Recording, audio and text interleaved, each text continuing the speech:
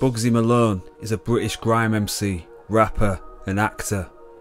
His story is one of many ups and downs and in this video I'm going to go through the timeline of Bugzy's life so we can see how his traumatic childhood led him to becoming one of the biggest inspirations for young people of our next generation. If you like this kind of content please subscribe to the channel and comment below who you want me to cover next. Also please follow me on social media it's at Kritikal Powers. Bugzy Malone real name Aaron Davis, was born on the 20th of December 1990.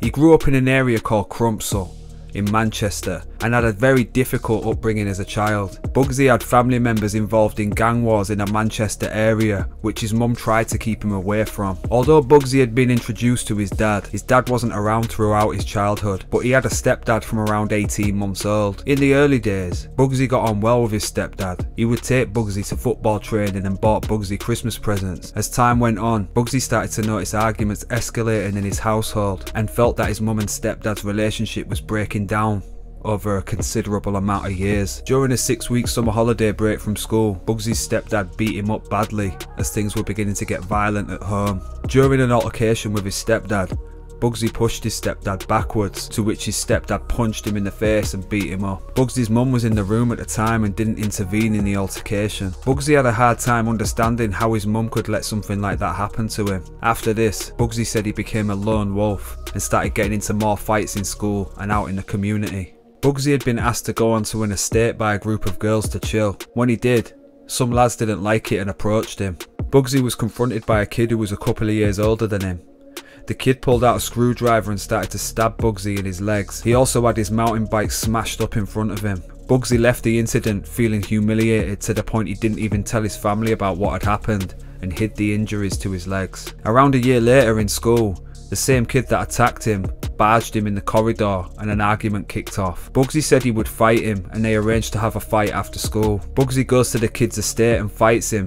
Bugzy won the fight and said that he started to realise he was tough and that he didn't have to be the victim anymore. Bugzy started fighting regularly until one day he got into an argument with someone from a gang. During the argument, the kid pulled out a gun and pointed it at Bugzy. The argument continued with the kid stating that he was from Cheetham Hill. Bugzy said he was also from Cheetham Hill, and they both began mentioning names they both knew. It turned out that the kid classed Bugzy's uncle as his own uncle due to his position in the hood. They both became friends, and this was the moment that Bugzy joined the gang himself. Bugzy said that due to the issues in his family home, he felt that the gang were his new family, and that he would have died for them through his loyalty to them. Bugzy was a persistent young offender and was arrested regularly by the police. He went to prison for just under a year and in an interview stated that prison saved his life. After his release, Bugzy began pursuing music, writing lyrics about his life and his experiences and sharing the challenges he had faced throughout his childhood.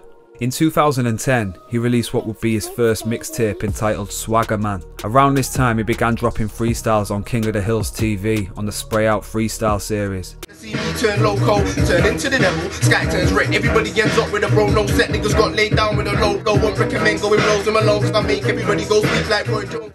And then jumped onto larger channels like GRM Daily North, Word on Road, One Way TV, and Flush Media gaining hundreds of thousands of views online.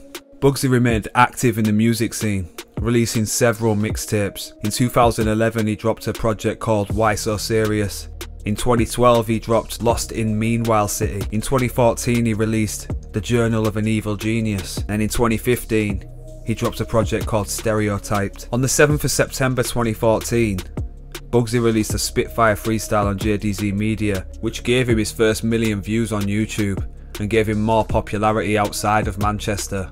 I think it was this freestyle that got him onto Fire in Booth with Charlie Sloth. On the 14th of March 2015, Bugzy delivered his Fire in Booth. Bugzy said when he received a call from Charlie Sloth requesting him to go on Fire in Booth, he thought it was a prank call. Bugzy's Fire in Booth is still one of the most viewed in the series, with over 34 million views. It was around this time that Bugzy and Chip started beefing, after Bugzy mentioned Chip on his Fire in the Booth freestyle. This beef carried on for a couple of years, sending diss tracks back and forth, and Chip also sending back for Bugzy on his own Fire in the Booth. After several diss tracks going backwards and forwards, both Bugzy and Chip resolved the beef in 2017. It shows a massive level of maturity man to be honest and I'm proud and happy that they resolved that beef because there's not enough people resolving beef and beef can really over escalate, particularly in the music scene, so I was really happy to see that. After this situation resolved, Bugzy released many projects and started to gain some national success. In 2016, he released a project called Walk With Me,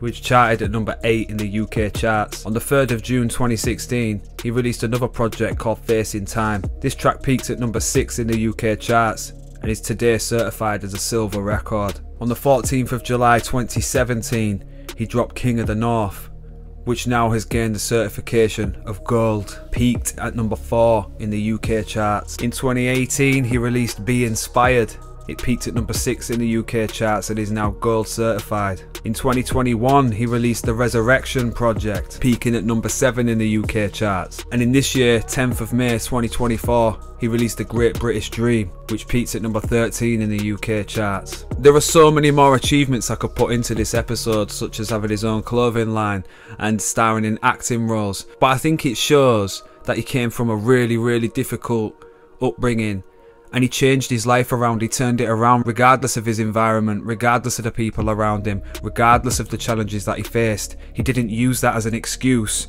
not to move forward. He also had a very serious bike accident and nearly lost his life. Came back from that. He did try to take his own life when he was younger. You know, there's so many nuanced things in his story that could have led him down the totally opposite path but he still keeps himself in good shape. He gives back to the community. He gives Christmas presents away at Christmas time to young people.